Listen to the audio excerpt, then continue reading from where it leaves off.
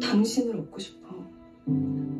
한 살짜리 당신을 얻고 싶어.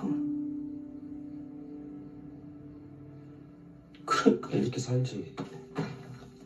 나는 이렇게 살 거야.